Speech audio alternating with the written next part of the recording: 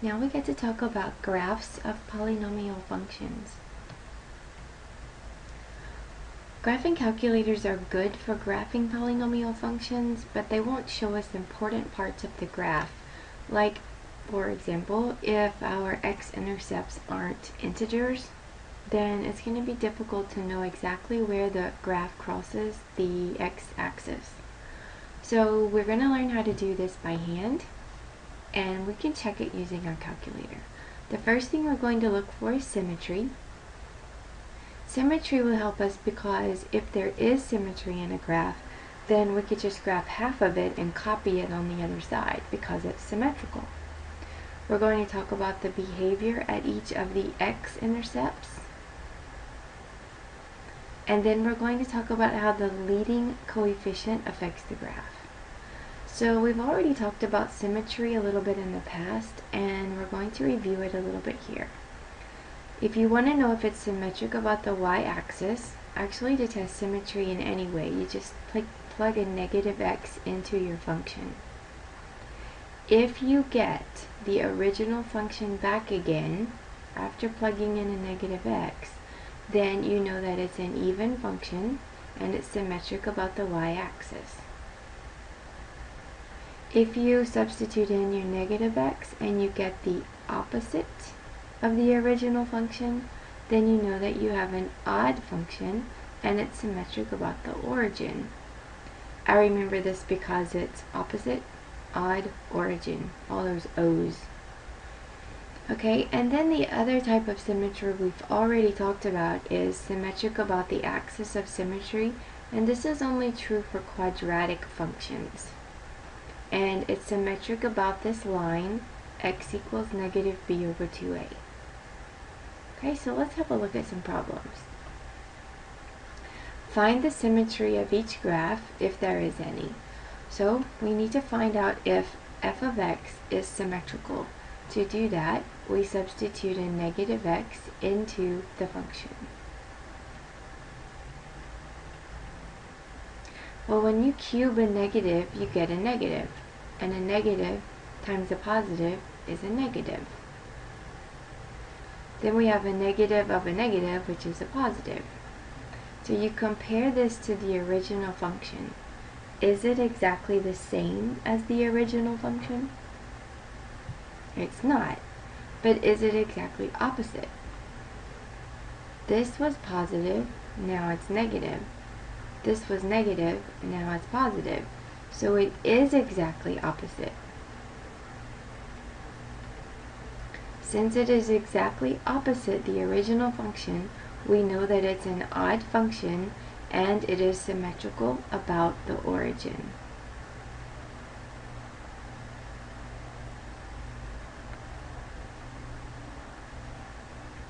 So what exactly does this graph look like anyway? Here's your graph. If you notice, it's symmetric about the origin. So if you were to take this graph, let me see if I can do this. If you were to take this graph and spin it like that, then it looks just like the original function, right? Well, if I could get it to line up straight. Anyway, there we go. This looks just like the original function. So if you can spin your graph like that and it looks like the original function, that's what it means to be symmetric about the origin.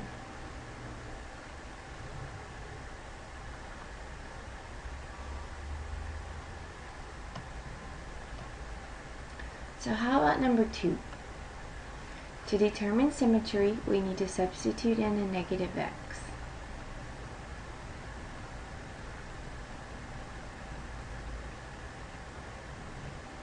Well, when you raise a negative to an even power, you get a positive, and a positive times a positive is a positive.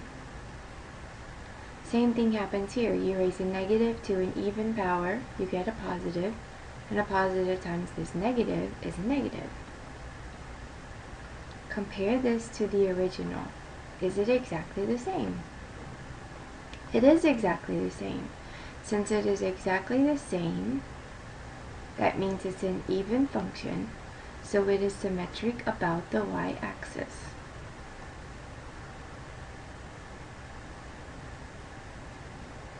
So what does this one look like? If you were to graph this, it actually looks like this graph.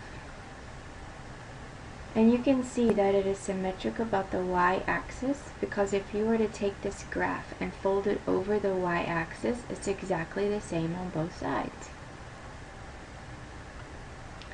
So how about number three?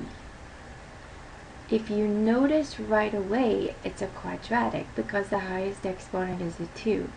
If you notice right away that it is quadratic, then you know that it's symmetric about the line x equals negative b over 2a. So you just figure that out and that's where the symmetry is. So you're going to have a negative of a negative 3, so negative b over 2 times 1. Negative of a negative is a positive, and 2 times 1 is 2. So this is symmetric about the line x equals 3 halves. This graph looks like this one. And you can see 3 halves is 1 and a half.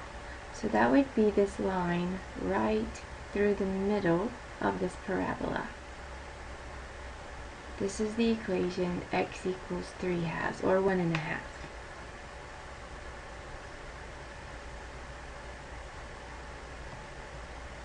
So what about the behavior at the intercepts? Now keep in mind we're talking about the x-intercepts when we say this. The only thing that will happen at the y-intercept is that it will cross. Okay, so that's all you have to know about the y-intercept. So when we're talking about the behavior at the intercepts, we're talking about what does the graph do when it gets to the x-axis. This is what you need to remember.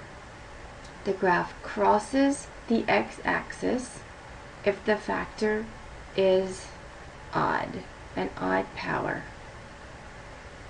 The graph touches the x-axis if the factor is raised to an even power. So this is what that means. Find your x-intercepts. That means that each of those equal to 0 and solve. So if you solve this one, you get x equals 2, and if you solve this one, you get x equals negative 1. Remember, these are called the zeros of the function. So what are the x-intercepts that correspond to those zeros? That would be 2, 0, and negative 1, 0. These are called the x-intercepts.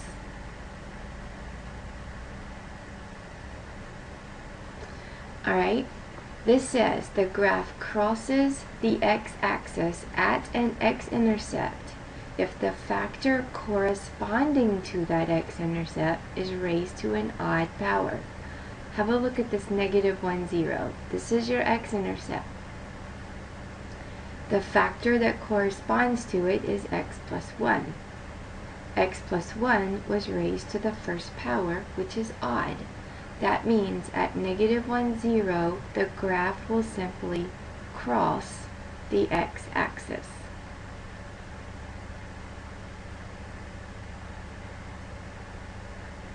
So what about the 2, 0?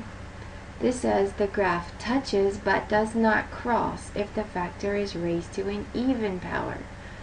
This is your x-intercept. x minus 2 is the factor that corresponds to that x-intercept. And this x minus 2 is raised to an even power. That means at this point the graph will simply touch the x-axis, but it will not cross at that point. So what does it look like? What are we really talking about? Here's our graph. If you'll notice, 2, 0 is here. At 2, 0, do you notice how the graph comes down, it touches, and it goes back up? That's what this means. At negative 1, 0, that's here, it actually goes across the x-axis at that point. And that's what this one means.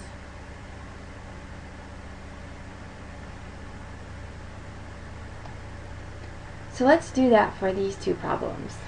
We need to first find the x-intercepts that correspond to the factors. So x plus 1 equals 0 and x minus 3 equals 0. Subtract 1 from both sides, we get x equals negative 1. Add 3 to both sides and we get x equals 3. The x-intercepts are negative 1, 0 and 3, 0. So what does the graph do at negative 1, 0? The factor that corresponds to that is x plus 1 and it's raised to an even power.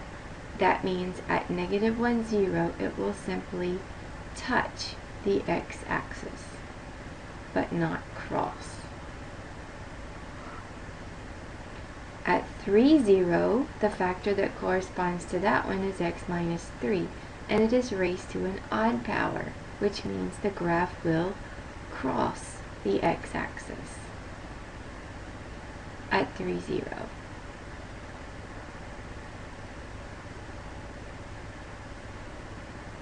So what if we have one like number 2? We don't have the factors, which means we're going to have to factor that one. So the very first thing that we can do is factor out an x, because they do all have an x in common. Now we need to factor this again. It is a quadratic. So we need to find factors of negative 3 that add up to a positive 2. So that would be positive 3 and negative 1. Now we have it completely factored. We need to find the zeros. So set each one equal to 0.